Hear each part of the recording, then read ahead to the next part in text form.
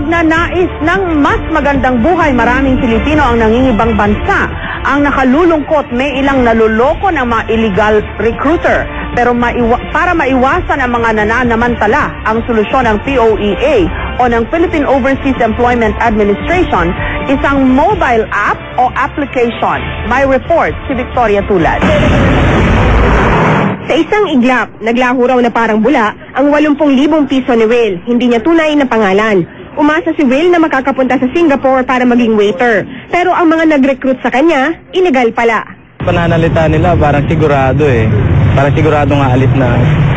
Yung agent naman na yun, ah, dati siyang nagtatrabaho sa agency na pinag pinagpasukan ng mga tawpinsan ko sa sabayo. Ang Philippine Overseas Employment Administration o POEA, pinaigting ang kampanya laban sa illegal recruitment. Isa sa mga solusyong nabuo ng ahensya ang pagkakaroon ng smartphone application.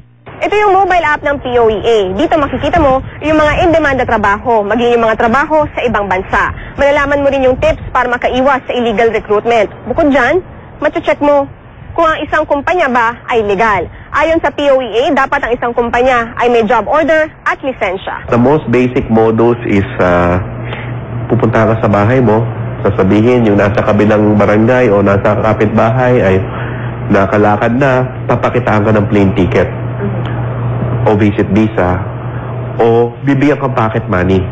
Kasama ang online job portal na jobstreet.com, naglabas din ng video ang POEA na nagpapakita ng mga tamang hakbang sa paghahanap ng trabaho sa ibang bansa. Ang mga job sites ngayon nag-o-offer na ng profile ng company na nag-o-offer ng trabaho. Meron siyang legitimate na address.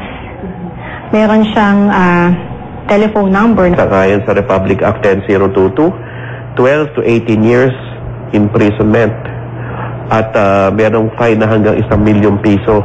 Sa datos ng POEA, umabot sa mahigit 1.8 milyong Pilipino ang nangibang bansa noong 2012 at 2013 para magtrabaho. 70% raw ng mga OFW ay nasa Middle East, 25% sa Timog Silangang Asya, habang nakakalat sa iba pang bansa ang 5%.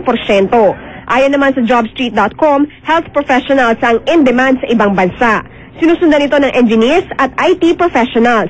Sadyang marami raw ang nais mag-abroad dahil sa mas mataas na sweldo. Serve your country first kasi ah, if you take a look at the job ads posted in most websites for overseas work, a lot of them require experience. Victoria Tulad, GMA News.